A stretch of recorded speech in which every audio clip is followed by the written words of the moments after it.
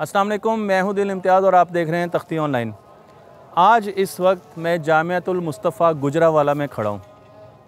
यहाँ पर मुझे बुलाया गया था लेक्चर्स देने के लिए और एक्टिविटीज़ कराने के लिए।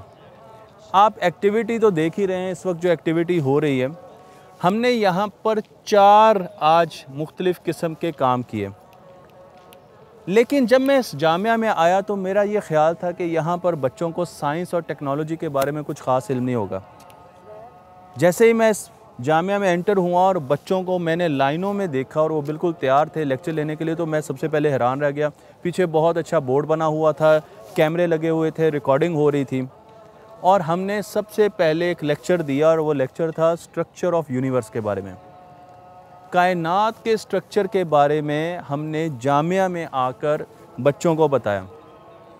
बच्चों को बहुत अच्छा लगा और उन्होंने बहुत से सवाल पूछे। उन सवालों में इतने मुश्किल मुश्किल सवाल भी थे कि मुझे ख़ुद हैरानी हुई कि एक मदरसे के बच्चे इस तरह के सवाल कैसे पूछ रहे हैं। खैर, मैंने उनको स्ट्रक्चर ऑफ़ यूनिवर्स के बारे में बताया। उनको बताया कि ज़मीन कैसे घूमती है। उनको बताया कि सितारे कैसे ब्लैक होल का चक्कर लगाते हैं। गलेक्सीज़ कैसे काम करती हैं। कितनी गलेक्सीज़ हैं। ये सारी चीज़ें इन बच्चों ने सुनी। उन्होंने ब्लैक होल्स के बारे में पूछा, उन्होंने सितारों के बारे में पूछा और फिर हम वहाँ से बाहर निकले और हमने सूरज को टेलीस्कोप के ज़रिए देखा। सूरज को देखा और सूरज में ब्लैक धब्बे ढूँढने की कोशिश की। उसके बाद हमने अगला लेक्चर देखा, अगला लेक्चर किया जो कि टेक्नोलॉजी और साइंस के बारे में था मैथमेटिक्स के बारे में था। हिस्ट्री को बयान किया गया। हमने हिस्ट्री शुरू की सुमेरियन से। मिस्रियों से होते हुए Indus civilization, Hindu civilization, Chinese civilization और फिर मुस्लिम सिविलाइजेशन की तरफ़ आए। हमने इस तमाम सिविलाइजेशन से इंसाफ किया और ईमानदारी से बताया कि उन सिविलाइजेशन ने क्या क्या काम किया और किस तरीके से तरक्की होती है। हमने बच्चों को ये भी बताया कि किस तरीके से एक छोटी सी दवाई ईजाद करने से आप कितनी दुआएँ ले सकते हैं। बच्चों ने टेक्नोलॉजी में, साइंस में, रियाजी में बहुत ज़्यादा इंटरेस्ट शो किया। जब मैंने उनको बताया कि एक सियारे को ढूंढा ही रियाजी की बुनियाद पर गया और एक मसावत के तौर पर सामने रखते हुए उसको ढूंढ लिया गया तो बच्चे हैरान रह गए। यहाँ पर भी बहुत से सवाल आए मेरे पास। और जब मैं ये लेक्चर दे के बाहर निकला तो आप यकीन करें बच्चों का एक झमघट्टा मेरे गिर था और वो मुझसे पूछे थे, सर, आप कहाँ से आएँ? आप कहाँ रहते हैं? आपका नंबर मिल सकता है, आपका ईमेल मिल सकता है। ये चीज़ मेरे साथ किसी भी यूनिवर्सिटी और स्कूल में कभी पेश नहीं आई। जो मुझे यहाँ पर चीज़ नज़र आई।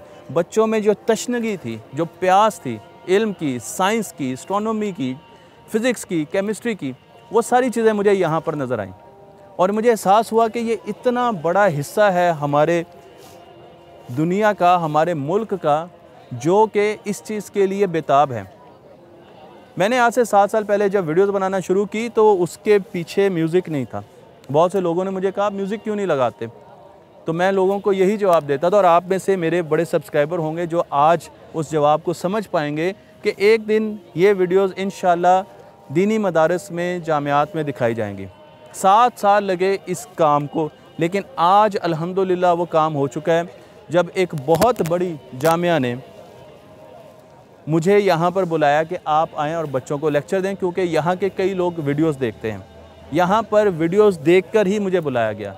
तो अल्हम्दुलिल्लाह, वो जो चीज़ थी, सोच थी कि हमने सौ फ़ीसद का उस्ताद बनना है, आज अल्लाह ताला ने उसको पूरा कर दिया। और मैं इस जामिया का भी शुक्रगुज़ार हूँ, इनके मुंतज़मीन का भी शुक्रगुज़ार हूँ कि इन्होंने इतने अच्छे तरीके से इसको ऑर्गेनाइज़ किया, इतने अच्छे तरीके से सेटअप लगाया। अगर आप वीडियोस भी देखेंगे तो आपको आइडिया हो जाएगा कि किस तरीके से मुख्तलिफ़ कैमरे लगाए गए, बैकग्राउंड कैसे बनाया गया, माइक किस तरीके से किया गया, लाइटिंग कैसे की गई, और डिसिप्लिन इतने बच्चे हैं और वो डिसिप्लिन के साथ टेलीस्कोप पर चीज़ें देख रहे हैं।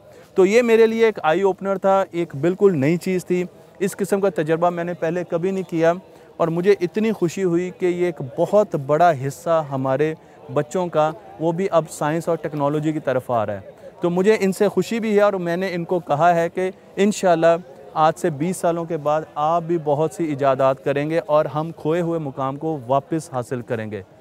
तो मैं आप सबका बहुत ज़्यादा शुक्रगुज़ार हूँ इस जामिया की जो मैनेजमेंट है, उसका शुक्रगुज़ार हूँ और मैं समझता हूँ कि बाकी इदारों को भी ऐसा ही रुख लेना चाहिए। उन्हें भी अपने अंदर साइंस और टेक्नोलॉजी को लाना चाहिए, अपने दरवाज़े खोलने चाहिए, मुस्तकबिल के लिए अपने दरवाज़ों को खोलना चाहिए, ताकि हमारे बच्चे कल के लिए तैयार हो सकें, वो दीन में और दुनिया में दोनों में सर्वाइव कर सकें, आगे बढ़ सकें।